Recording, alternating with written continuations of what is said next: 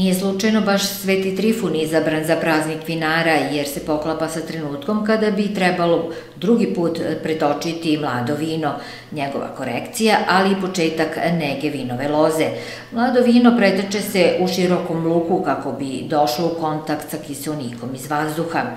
Na ovaj način omogućavamo vinu da se oslobodi e, viška ugljen dioksida, i da se lakše istaloži, da odnosno da se izbistri i na taj način e, nakon tog drugog pretakanja vino se stabilizuje i ostvare neki svoj pun onako potencijal kada je u pitanju aroma i organoleptičke osobine.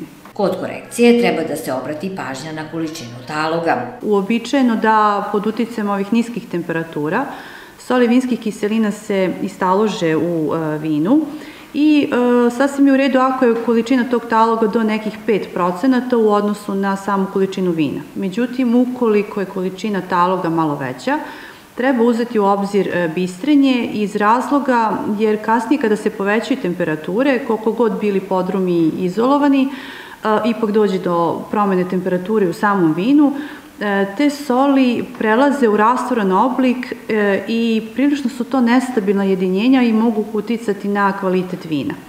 Od sredstava za bistrenje proizvođači mogu da izaberu šta žele, ja bih uvek recimo preporučila bentonit. Za podizanje kvaliteta vina neophodno je obaviti kupažiranje. To je mešanje dve ili više e, vrste vina u jednom određenom dakle, procentu kako biste baš poboljšali taj kvalitet.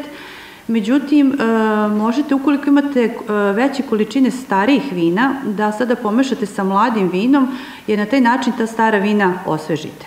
A ukoliko niste sumporisali širu, a ni vino nakon fermentacije, Uvek bih preporučila korišćenje vinobrana u nekoj maloj količini, nekih 5 grama na 100 litara vina, čisto prevencije radi, jer na taj način sprečavate rad plesni i bakterija sirćetnog vrenja e, koje su izazivači kvarenja i bolesti vina, a ujedno na taj način sprečavate da vino kasnije ima ukus i miris na izvetrevo.